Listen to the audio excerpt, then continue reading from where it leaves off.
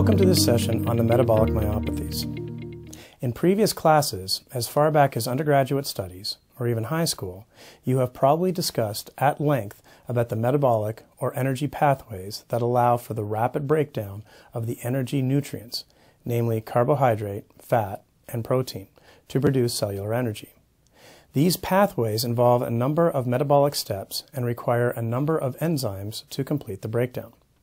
So what happens if one of these enzymes wasn't functioning properly? As you might expect, the effects are going to be highly dependent on the pathway affected and the specific step along the way. And as a highly metabolic tissue, these enzyme deficiencies are going to have a particular effect on muscle tissue. The metabolic myopathies are therefore muscle diseases that result from inborn errors of metabolism. In the upcoming sessions, we'll group these disorders as either errors of glucose metabolism, lipid metabolism, or as errors within the tricarboxylic acid or electron transport chain, which are collectively called the mitochondrial myopathies. In the first segment, however, we will start with a review of the metabolic pathways and how each is called upon during fasting and exercise, which will have important implications in patient presentation in clinical testing and making a differential diagnosis. Let's start with the most simplistic of energy pathways, glycolysis. This is a process by which sugar moieties are broken down into the three-carbon pyruvate molecule. In the preparatory phase, energy is consumed to prime the moiety to be split into two three-carbon sugars. In the payoff phase, the three carbon sugars are oxidized to pyruvate, and ATP is generated in the process. In addition, two molecules of nicotinamide adenine dinucleotide are reduced and travel to the mitochondria to contribute the hydrogen and electrons acquired from the oxidation of glucose to the electron transport chain. The most common source of sugar are glucose molecules, although other sugars, such as fructose, can also enter into the pathway. In periods immediately following a meal, cells can pull glucose from circulation for glycolysis. Sugar imported into the cell that is not immediately used for energy needs can be converted to a storage form called glycogen. This provides a source of energy in the post-absorptive phase, when blood glucose levels start to decrease. Whether stored or hydrolyzed, the first step in the process is conversion into glucose 6-phosphate, which locks the molecule into the cell. Only the liver, which contains the enzyme glucose 6-phosphatase, can later regenerate free glucose for exocytosis to replenish depleted blood glucose stores. Following glycolysis, pyruvate can take one of two metabolic pathways. The preferred path is for transport of pyruvate into the mitochondrial matrix, where it can be converted into acetyl-CoA with reduction of another NAD molecule into NADH and the production of carbon dioxide. This is the typical path under aerobic conditions when there is sufficient oxygen available to accept electrons and regenerate the oxidized form of nicotinamide adenine dinucleotide. Under conditions of increased energy demands for the cell, the alternative pathway, in which pyruvate is converted into lactic acid, becomes increasingly important. A second pathway for cellular respiration is beta oxidation. This is the process by which the fatty acid chains making up triglycerides are broken down and metabolized for energy.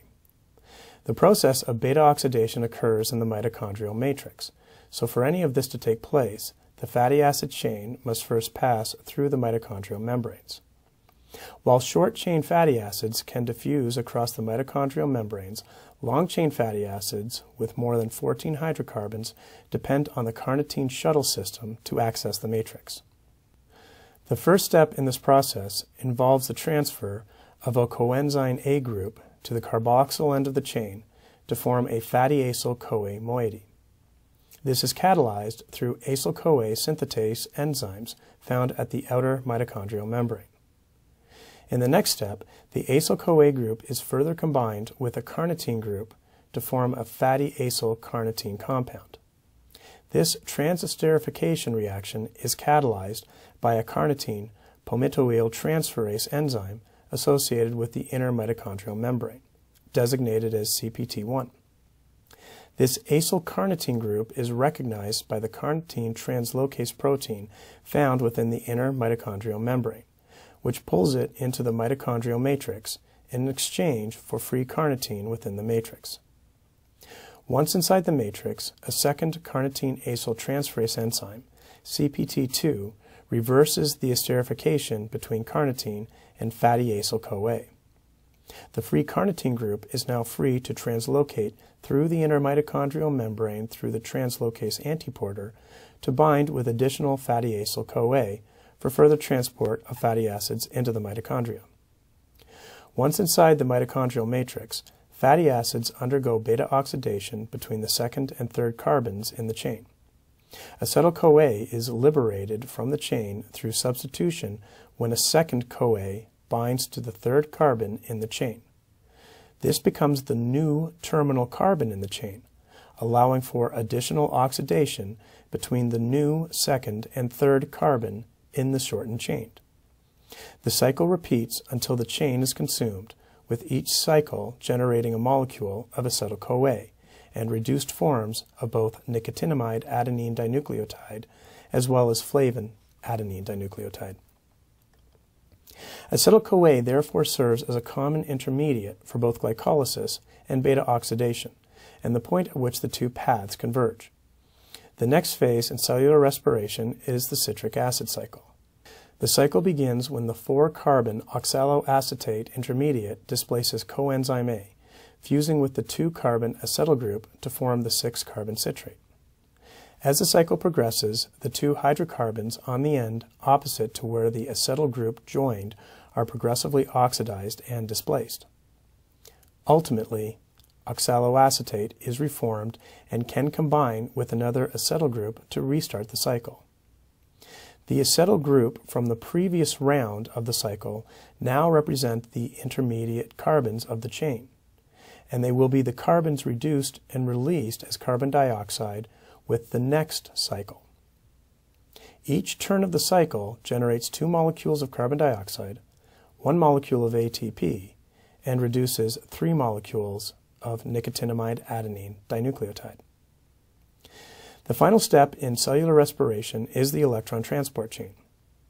In this stage, a series of inner mitochondrial transmembrane proteins serve as electron acceptors, regenerating the oxidized forms of nicotinamide and flavin adenine dinucleotide, which can again reduce intermediates in glycolysis, beta oxidation, and Krebs cycle. Many of these proteins also serve as proton pumps and utilize the energy from electron transfer to actively transport protons against their concentration gradient from the mitochondrial matrix to the inner membrane space. The return of protons to the matrix through the ATP synthase protein generates the energy necessary for this enzyme to reform ATP from ADP and inorganic phosphate. The electrons are ultimately accepted by oxygen delivered to the cell through the cardiorespiratory system to form water. Under resting physiological conditions in a healthy individual, the amount of oxygen delivered to the cells through the body is sufficient to meet the energy demands of the cell, and cellular respiration proceeds normally, according to the nutrients available to the cell. With physical movement, ATP consumption in active muscle tissue increases, which in turn increases the oxygen demand for the cell. For light activity and submaximal exercise, such as walking and jogging, the body can increase oxygen supply by increasing circulation to active muscle. This is sometimes referred to as steady state exercise, where oxygen supply equally balances energy demands. There is typically a slight lag in this increase in circulation and oxygen delivery, in which energy demands exceed oxygen supply. During this phase, cells typically rely on an auxiliary energy supply, sometimes referred to as the immediate early energy system. This involves an additional energy molecule known as creatine phosphate. During the first few seconds of activity, creatine phosphate donates its phosphate group to ADP to rapidly regenerate ATP for further muscle contraction. Although there is an abundant amount of creatine phosphate within the muscle cytosol, it can be rapidly depleted within a matter of a few seconds. The dephosphorylated creatine must then travel to mitochondria, where ATP regenerates the phosphorylated form for the next time it is needed. Within the first 20 seconds of submaximal activity, oxygen supply has increased to balance energy demands and the body has reached what is known as steady state exercise. For the first 20 minutes of exercise, the body typically relies most heavily on glycolysis to generate the acetyl-CoA that feeds into the citric acid cycle, consuming both blood glucose delivered to the cell and glucose derived from the breakdown of glycogen stores within the cell. As activity continues, the concentrations of glucose begin to diminish, and the body transitions to the breakdown of triglycerides to generate ATP through beta oxidation. It's highly dependent on the physical condition of the individual, concentration of nutrients present, and the intensity of exercise. But at some point around 20 minutes into the activity, beta oxidation surpasses glycolysis as the principal source of acetyl-CoA production. This continues until the end of activity, when energy demands return to normal. In cases of maximal exertion, such as sprinting, the energy demands of the muscle cells exceed the maximal amount of oxygen that the body can supply. Because oxygen serves as the terminal electron acceptor, there is a maximal rate at which electrons can flow through the electron transport chain, which means a maximal rate at which nicotinamide and flavin adenine dinucleotide can be oxidized. This would also mean a maximal rate for the citric acid cycle, which requires the reduction of these compounds to proceed. If the energy demands of the cell exceed the supply of oxygen, some of the pyruvate generated during glycolysis can be reduced to lactate by accepting electrons from NADH. The oxidized nicotinamide adenine dinucleotide can be utilized in glycolysis to generate even more pyruvate. In essence, this allows the rate of glycolysis to increase independently of oxygen availability, a condition sometimes referred to as anaerobic glycolysis. The lactate that is generated enters the bloodstream as lactic acid. As lactic acid accumulates, it lowers the blood pH and results in a burning sensation known as lactic acidosis. This process continues to a point where the acidity in the tissue surrounding the muscle compromises function, or the individual voluntarily reduces activity to a level below the aerobic threshold due to pain and fatigue. Activities with energy consumption above this threshold are never able to achieve a steady state and will not be able to continue for a prolonged period of time.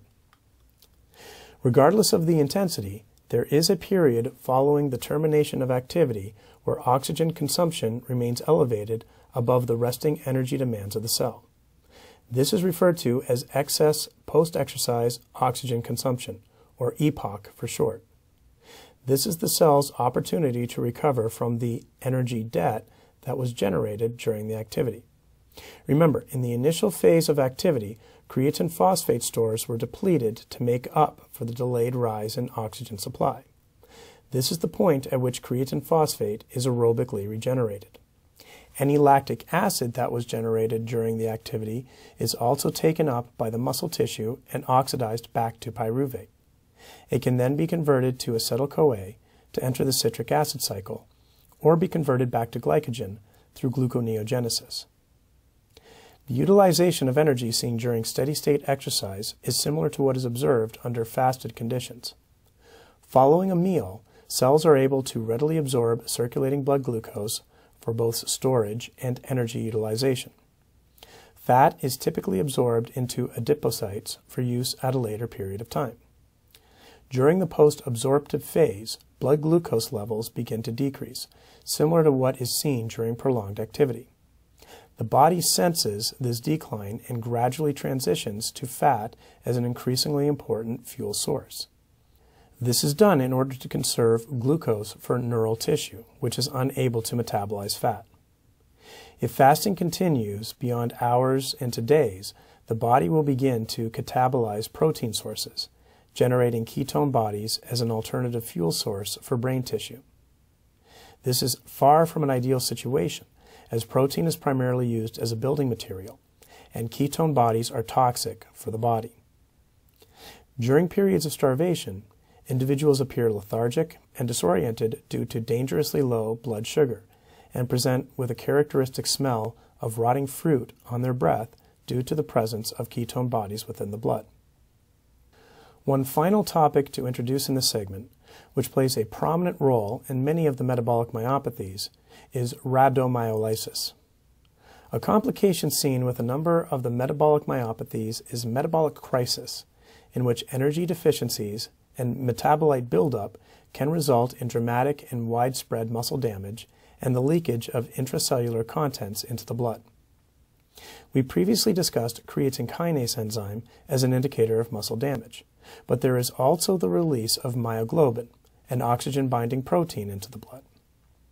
In smaller amounts, blood myoglobin is not a significant issue, but in larger quantities, it has the potential to interfere with tissues throughout the body. In particular, elevated serum myoglobin disrupts the filtration apparatus for the kidneys, which can result in widespread kidney damage. Signs of clinically significant muscle damage, termed rhabdomyolysis, include pain and swelling in skeletal muscle groups and discolored urine. A patient with a diagnosed metabolic myopathy should be carefully observed for signs of rhabdomyolysis and quickly treated with aggressive IV fluid replacement to stave off kidney damage and other complications related to rhabdomyolysis. That concludes this brief review of energy metabolism and cellular respiration. In the next segment, we will consider a group of diseases related to the metabolism of glucose for energy production. These are the glycogen storage diseases.